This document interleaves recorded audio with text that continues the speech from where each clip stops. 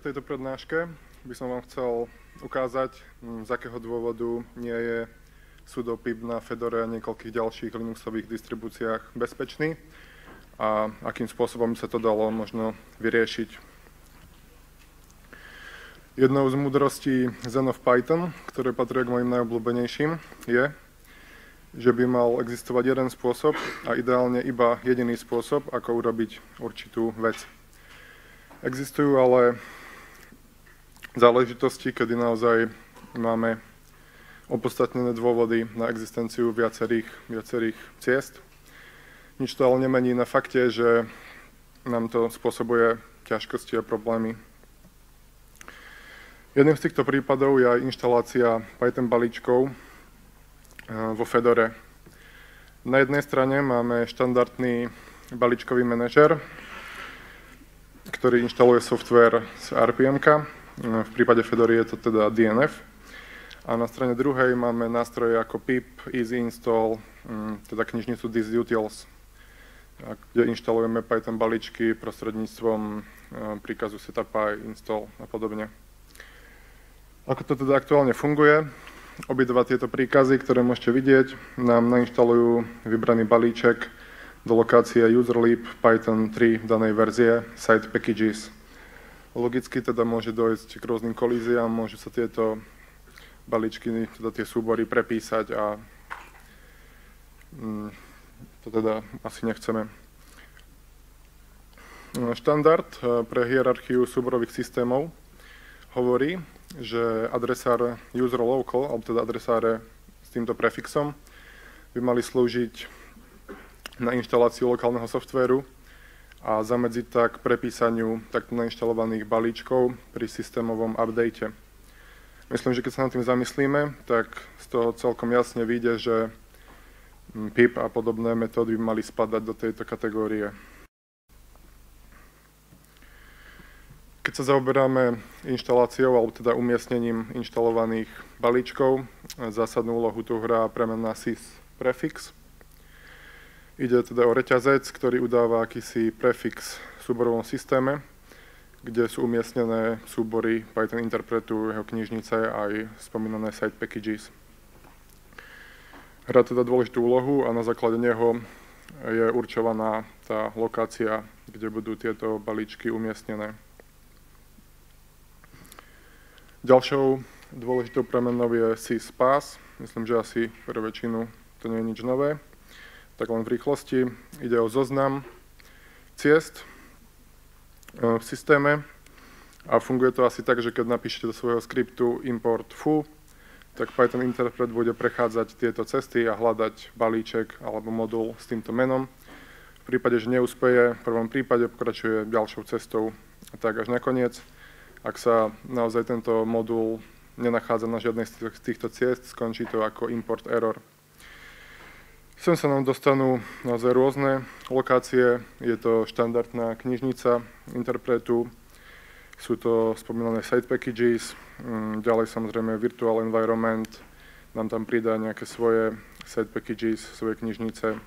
Môžeme tam mať aktuálny adresár, vplyv na to majú konfigurácie v skripte site.py a tiež nastavenia Python pass a podobne. Vráťme sa ale k eh, týmto konfliktom, ktoré nám spôsobujú tie vrázky na čele. Keď som sa začínal zaoberať touto problematikou, som si našiel všetky zdroje a informácie dostupné na, inform- na internete, ktoré bolo možné nájsť. A prvé, na čo som narazil, boli bugy, naozaj veľmi veľké množstvo bugov. Niektoré z nich boli 5 rokov staré, dokonca 10 rokov staré. A išlo o rôzne problémy typu, že nejaký balíček sa odmietol nainštalovať pri update, zlyhal kvôli tomu upgrade na vyššiu verziu a podobne. Väčšina z týchto bugov, ako môžeme vidieť aj na týchto obrázkoch, bola vyriešených asi spôsobom, nepoužili ste náhodou sudopip na nainštalovanie nejakého balíčka a samozrejme no debug zatvorené. Boli uzatvorené ako fix na konci životného cyklu danej, danej verzie pre ktorý bol tento bug. Okrem bugov som teda narazil aj na niekoľko konverzácií na mailing listoch, kde rôzne ľudia z komunity diskutovali tieto problémy, navrhovali nejaké riešenia. Avšak žiadne z nich sa nepodarilo dotiahnuť do fázy, že by to naozaj bolo implementované, začalo fungovať. Bolo to naozaj zaujímavé čítanie. Miestami to bol taký trošku pohľad do minulosti, lebo všetok software bol niekoľko verzií pozadu a som tam našiel ľudí, ktorých v súčasnej dobe poznám, stretávam sa s nimi, ktorí vystupovali v nejakých iných úlohách v tom čase. Táto myšlienka ma natoľko fascinovala, že som sa rozhodol v rámci hobby projektu si naprogramovať taký software, ktorý mi umožní trošku cestovať v čase. Aktuálne je v pri alfa verzii, tak sa tam ešte nachádza veľa nedostatkov, nedotiahnutých vecí ale verím, že na účely BMA, ktoré by som vám chcel ukázať, nám to bude stačiť.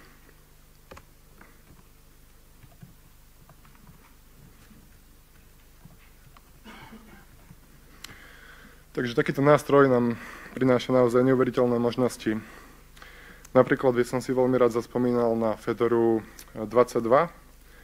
Bolo to asi tretia Fedora, ktorú som používal ako môj primárny operačný systém. Už som aj v tom čase začínal aj trošku rozumieť. Python 3 vtedy naozaj získaval na dôležitosti vo Fedore a balíčkový manažer Yum bol nahradený zlepšenou verziou DNF. Fedora 22 bola aktuálna v roku 2015. Bol to teda druhá polovica roku 2015, tak mohol by mi niekto tu nám povedať nejaký mesiac druhej polovice roku 2015? Hoci kto? November. A, takže tak je to správne. A nejaký deň by som poprosil tam z tej strany. 26.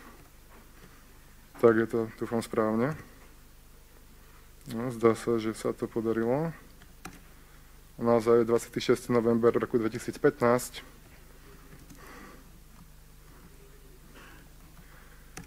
A sme na Fedore 22.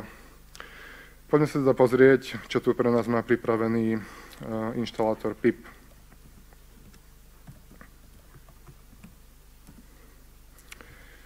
Chceme sa nainštalovať napríklad balíček requests a online nájdeme dobrú radu použiť inštalátor PIP. To sa nám nepodarilo.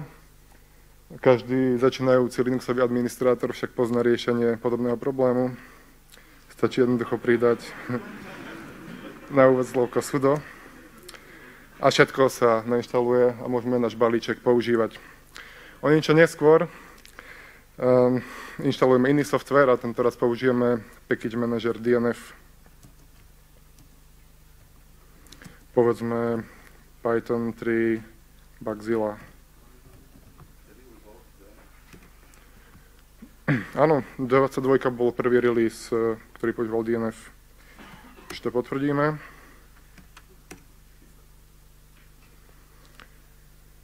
A máme tam nejaké chyby, niečo sa pokazilo a balíček request sa odmietol nainštalovať. A skúsime si naimportovať náš balíček Bugzilla. sa nám nepodarí, pretože v site packages request máme nejaký kus softveru, ktorý pravdepodobne nefunguje ako by mal. Čo som trošku zabudol povedať, jednou z tých e, nevýhod alebo nedotiahnutých vecí tohto softveru na cestovanie v čase je, že sa objavíte na náhodnom systéme Unixového typu, ktorý bežal v danom čase, kam cestujeme. Takže v tomto prípade sme na systéme istého Davea, a keď mm, začneme takéto problémy, asi nebudeme mať veľmi radosť a pravdepodobne nám založí niektoré z tých bugov, ktoré som vám na úvod ukazoval. Toto ale nie je celý príbeh, pretože PIPom sa dá software samozrejme aj odinštalovať. Prípade, že má človek naozaj zlú karmu a odinštaluje nesprávny kus softveru, následky môžu byť naozaj fatálne. Takže keď bude chcieť Dave najbližšie updateovať svoj systém, bude ho čakať naozaj nepekný traceback a teda nemôže svoj systém updateovať, upgradeovať, nemôže reinštalovať nejaké balíky, aby ho nejakým spôsobom zotavil. A má naozaj dosť veľký problém. Dúfajme, že nám to teda odpustí a vráťme sa radšej naspäť do súčasnosti. Toto ale nevyzerá vôbec dobre. Vyzerá to, že sme sa zasekli niekde na pol ceste. A okrem toho je to systém Debian. Keď sme sa tu už takto náhodne ocitli, tak sa poďme pozrieť, ako sa tu správa sudo pip, lebo je to tiež naozaj zaujímavé. Nainštalujeme si nejaký balíček použitím sudopipu.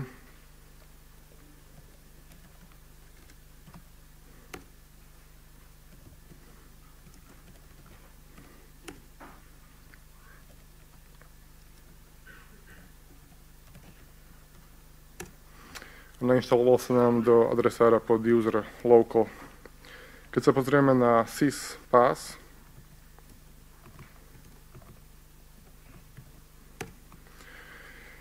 Samozrejme sa tam nachádza aj user aby bolo možné teda balíčky nainštalované týmto spôsobom importovať. A čo nás možno prekvapí, nenájdeme tu žiadne site packages, ale náhradu zvanú dist packages.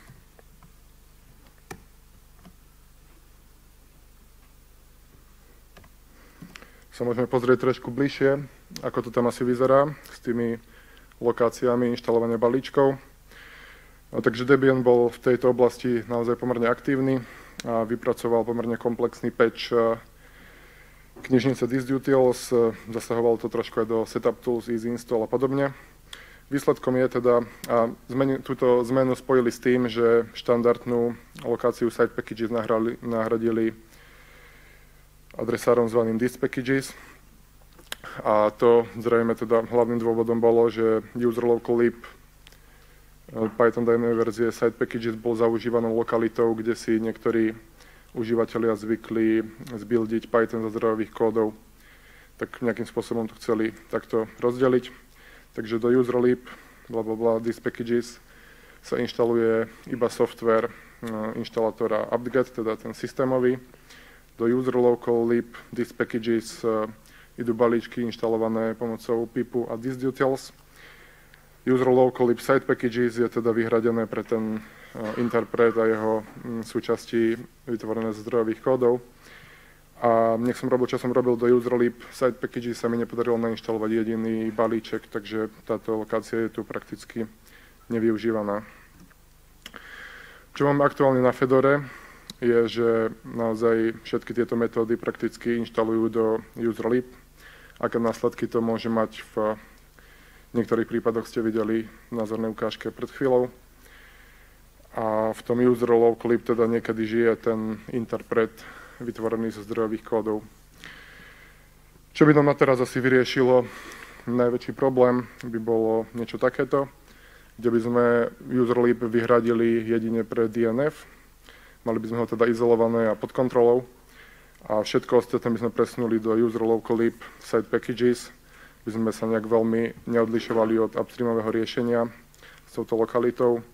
Možno takým potenciálnym problémom tu je, že mm, v prípade, že by mal človek Python presne rovnakej verzie, ako je ten aktuálny systémový, systémová verzia Pythonu, buildený zo zdrojových kódov user local, tak tie site packages by boli akoby zdieľané v niektorých prípadoch. To ale nepovažujeme za nejaký kritický problém, keďže máme prepínač minus i, ktorý trošku zmení správanie toho interpretu a izoluje ho týchto lokácií. Alebo keby niekto si mal naozaj problém, môže si ten Python zbuildiť v um, slash opt alebo niekde inde. Máme teda predstavu, čo by sme asi chceli docieliť a otázkou zostáva, akým spôsobom sa k tomu dopracovať. Určite najlepším riešením by bolo nejaké globálne riešenie v upstreame, ktoré by to vyriešilo všade raz a navždy. Avšak problémom tu je trošku, že distribúcie, ktoré využívajú Python, majú rôzne svoje vlastné problémy a teda vec tam fungujú ináč.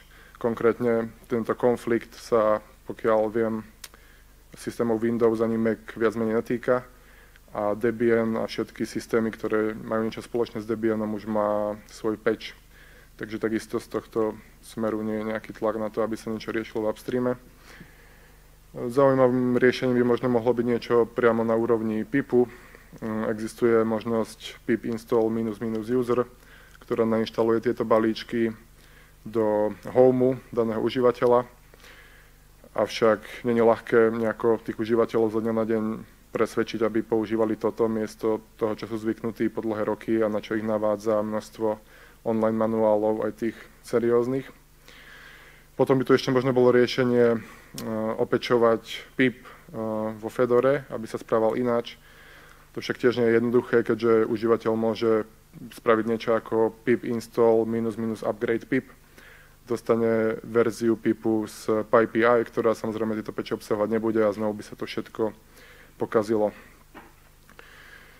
Teda jediným asi na teraz v dohľadnej dobe možným, alebo teda e, riešením, ktoré by sme mohli nejak sa snažiť zrealizovať, je vyriešiť to pre Fedoru. K tomu by sme si mohli priblížiť nejaké mm, riešenie, ktoré sme zvažovali. Musíme vedieť trošku, čo je to System Python. Vo Fedore 24 bol predstavený System Python a ide o akúsi podmnožinu štandardnej knižnice jazyka Python, ktorú môžeme vidieť približne na tejto schéme. Hlavným účelom jeho vzniku bolo umožniť e, vytvoriť menšiu minimálnu inštaláciu, e, kde by nemusel byť teda nutne celý, celá štandardná knižnica, ale len tá podmnožina, ktorá je potrebná na beh e, tých systémových nástrojov, ako napríklad DNF a ten zvyšok eh, štandardnej knižnice je zabalený v balíčku Python 3 Lips s tým, že Python 3 a Python 3 Lips eh, závisí na systém Python, teda ak si užívateľ nainštaluje Python 3 Lips, samozrejme dostane kompletnú knižnicu. Um, knižnici, teda, ktorá je takýmto spôsobom rozdelená, máme dvojicu binárok a to je userbin Python 3 a binárka system Pythonu. Keď sme začali nejako diskutovať, dávať dokopy nejaké potenciálne riešenia, odrazu začalo všetko do seba ako si zapadať a prišli sme na myšlienku, že by nám systém Python mohol pomôcť vyriešiť tento problém. Idea bola taká, že by sme sys prefix eh, toho užívateľského userbin Python 3 upravili v čase inicializácie na user local, podobne ako sa to deje pri um, použití virtual envu a ostal by nám teda ten systém Python s e, prefixom user, ktorý by sa využíval na účely tvorby rpm a teda tohto packagingu. To sme nejako teda dali dokopy a navrhli sme to ako Fedora Change pre Fedoru verzie 26. Spočiatku vyzeralo všetko celkom slubne, úvodné testy nasvedčovali, že by to mohlo fungovať.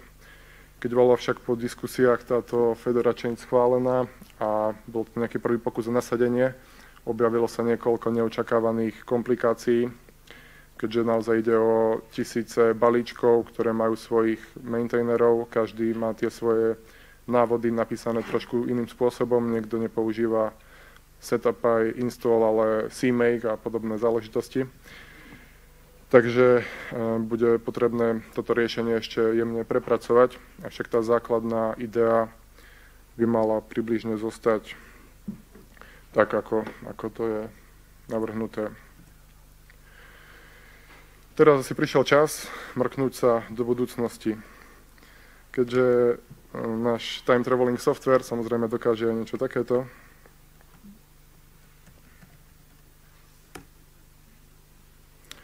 Poďme sa ísť pozrieť do budúcnosti a nainštalujeme si teda nejaký balíček sudo pipom.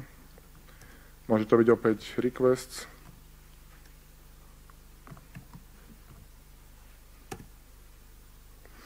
Ten sa nám nainštaloval a skúsime si ho teda naimportovať.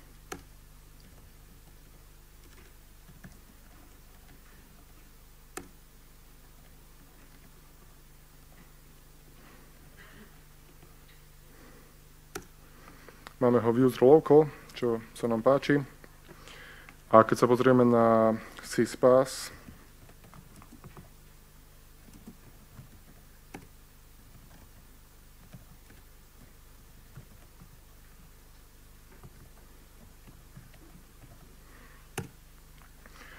Môžeme tam vidieť, že je tam okrem štandardnej knižnice e, sprednostne zahrnutá cesta user local, site packages a za ňou je teda štandardné user lib 64 site packages a user lib site packages.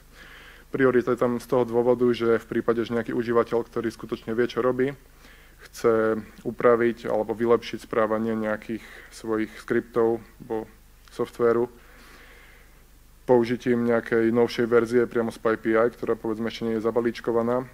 Bude ten jeho modul odtiaľto prioritne importovaný a použitý. A v prípade, že by niečo nefungovalo tak, ako by malo, môže ho jednoducho odinštalovať a všetko bude fungovať spolahlivo z tých RPM verzií. Ešte tu máme jednu zaujímavú vec a to je prepínač minus i,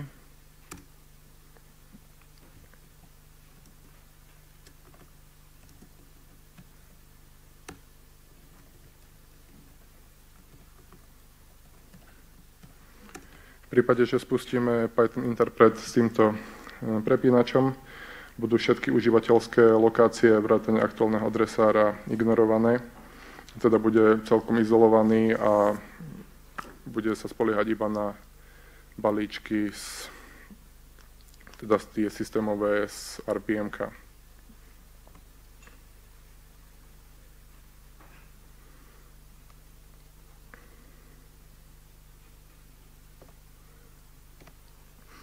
Ešte by som vás chcel trošku posmeliť, aby ste sa zastavili na Fedora stánku. Máme tam pre vás pripravený kvíz, kde zodpoviete na niekoľko otázok a budete zaradení do šrebovania o trička Proud Fedora User. Zatiaľ teda nebolo odovzdaných veľmi veľa riešení toho kvízu, takže vaše šance budú veľmi vysoké v prípade, že sa zapojíte.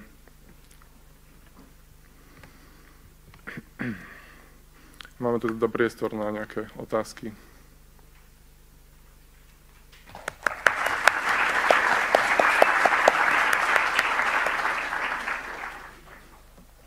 Ďakujeme veľmi pekne. Uh, prvá otázka je, uh, viacerí sa teda uh, stratili v tom cestovaní v čase a ako vlastne funguje Travel2 a ako sme sa dostali do Debianu. Tých ľudí, čo by chceli kúpiť licenciu na tento software, asi bude musieť sklamať, lebo používa open source technológie a teda musí byť tiež open source a je už zverejnený na mojom GitHube, takže koho by to zaujímalo, to môže mrknúť a ide vlastne o shell script, uh, docker kontajnery a štipku mágie. OK, ďakujeme. Uh, ďalšia otázka je, že či, by, alebo že či nie je riešenie aj e, používanie virtuálnych prostredí a, a samotný PIP. Mm, ako na niektoré prípady nejakých webových aplikácií, ktoré majú jasne dané nejaké pevné závislosti, to je asi najlepšia cesta, ktorú aktuálne máme. Ale stále tu máme naozaj veľké množstvo užívateľov, ktorí povedzme nie sú až takí zdatní v jazyku Python a jednoducho píšu nejaký skript, potrebujú si niečo nainštalovať, tak sa pozrú na internet a ten im poradí použiť túto metódu. Takže naozaj tak jednoducho vyriešiť to pravdepodobne nedá a tých bugov naozaj stále sú veľké počty, takže sa to užívateľom jednoznačne stáva, že majú s týmto problémy. Ešte niek- niektorých zaujímalo, že či by mo- mohol sa vymyslieť e, politicky korektnejší názov pre package manager, e, teda pre fascist build policy,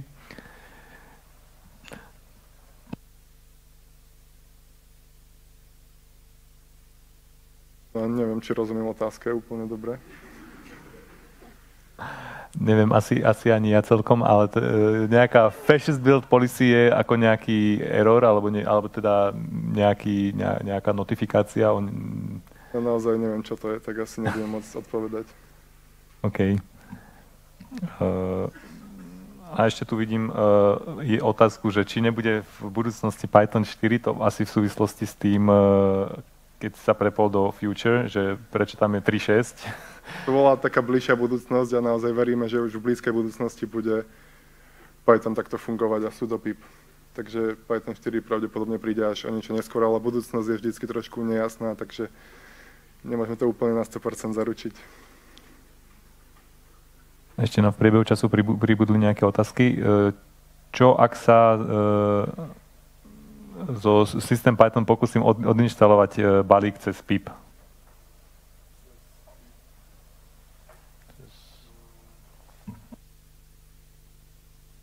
V prípade, že bude ten PIP naozaj mať tú svoju lokalitu, tak by to nemalo byť možné odinštalovať balíky, ktoré sú, ktoré sú zo systému.